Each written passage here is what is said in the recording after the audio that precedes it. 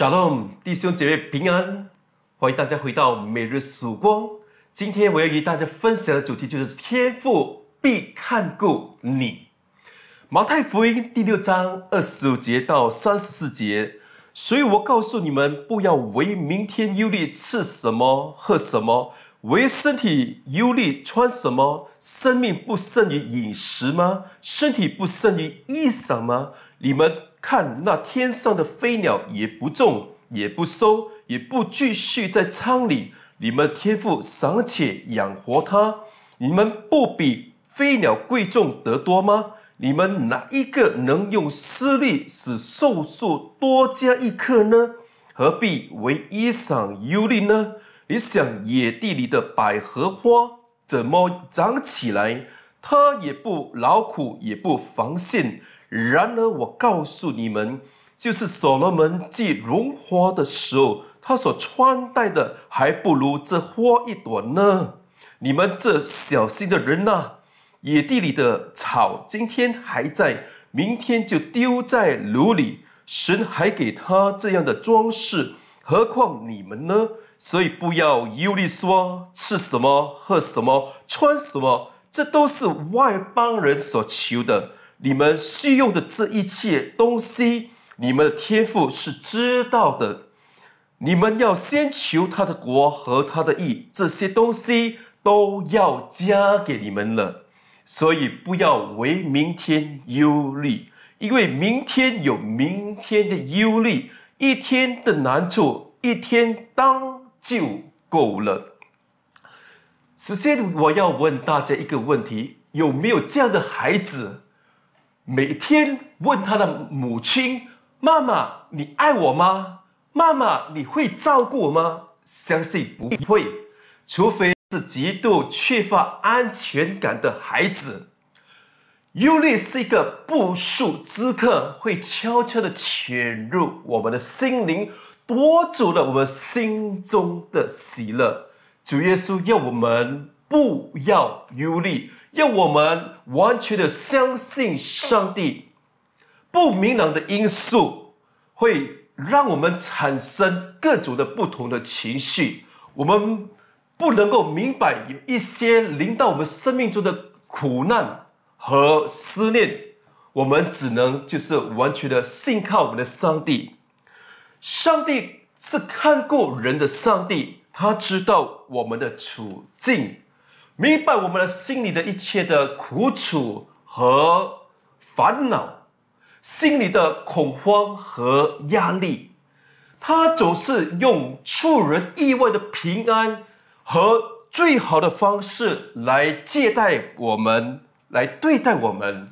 美国知名的牧师陶素牧师他说：“内心的平安并非来自否定困难的存在，而是将你的忧虑完全的卸给我们的上帝。当你心中确信上帝必然看顾你，你就有勇气面对各样的挑战。当困难临到你的生命的时候，你不是捉头发，而是捉住上帝，因为你知道你的上帝在以上书第四十章第十节神说：“你不要害怕，因为我与你同在；不要惊慌，因为我是你的神，我必兼顾你，我必帮助你，我必用我的公义的右手扶持你。”上帝应许必缠住我们的右手，对我们说：“不要害怕，我必帮助你。”当恐惧排山倒海临到我们生命的时候，我们要想到上帝的应许，上帝必用他的恩手来引领我们，他的大爱必扶持我们，我们就有勇气能够去面对我们的未来。你知道，上帝不会忘记你。就是呢，你的头发也都被数过了，确信上帝是美善的，他是信实的，恐惧呢，在你心中呢就会消失了。就业创世纪呢记载，这夜色经历了上帝的峰回路转的带领，不断的见证耶和华是一个永活的真神，更是的充满信心的对他的兄弟说呢：“上帝必看顾你们。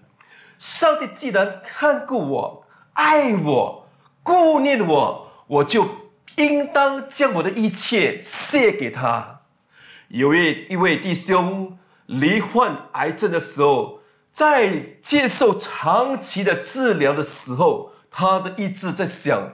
是否能够继续活下去？心里充满了忧虑。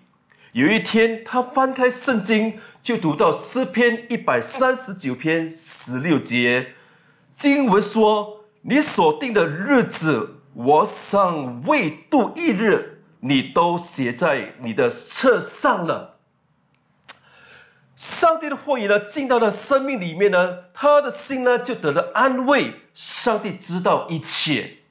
当我们在痛苦、失望、不确定的时候，要因为我们对我们的上帝无微不至的关怀，这种的确信而充满着盼望。直到即使呢，我们若在困苦、缺乏、一无所有，有上帝就一无所缺。诗篇第十六篇第十一节，大卫说：“你必将生命的道路指示我，在你面前有满足的喜乐，在你的右手有永远的福乐。”马太福音第六章三十节，主耶稣说：“你们这小心的人啊，野地里的草今天还在，明天就丢在炉里。神还给他这样的装饰。”何况你们呢？天父不但看顾我们，并且乐意把好的东西给求他的人。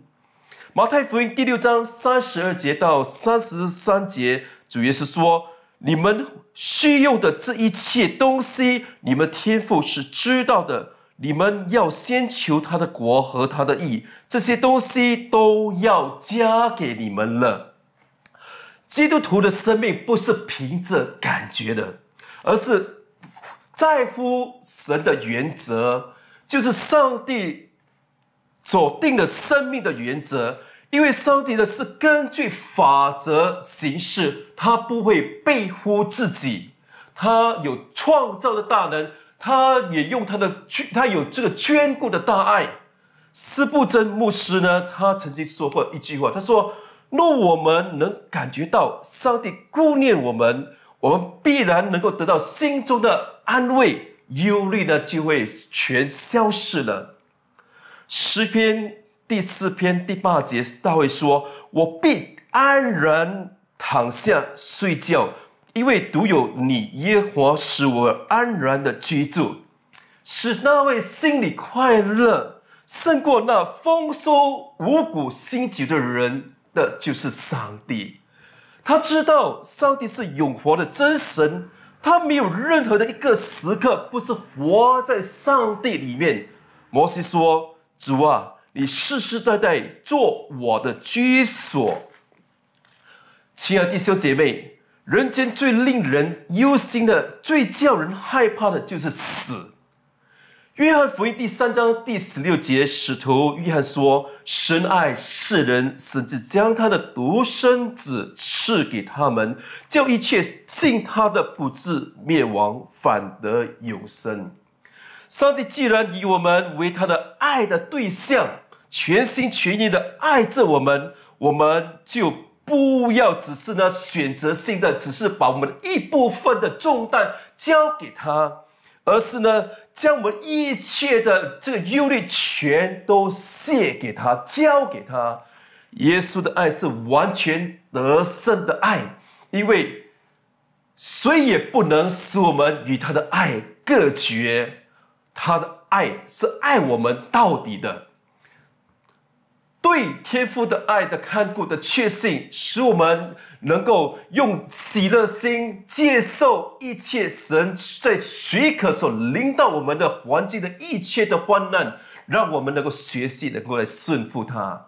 今天，若你能够从神的恩典和主权的角度来看待临到我们自己的那些的苦难，就能够像保罗一样。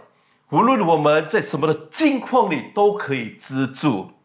圣经里有一个很重要的一个题目，就是一人因信得生。不要怀疑天父今晚是否看顾你。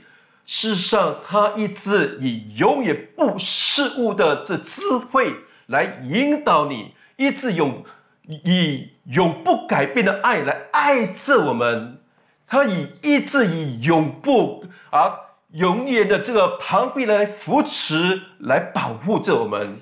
诗篇六十八篇第十九节经文说：“天天背负我们的重担的主，就是拯救我们的神，是应当称颂的。上帝在大事小事上都看顾我们。你的心为何忧闷呢？只要对上帝存着啊敬畏的心。”就不用怕从任何而来的环境而来的那种的威胁。愿主的灵能够引导我们，能够进入到他的一切的丰盛里面，里面使我们越知道他的一切的指望，我们的心就能够越发赞美他。愿上帝的话语能够赐福大家，愿上帝祝福你们有个美好的一天。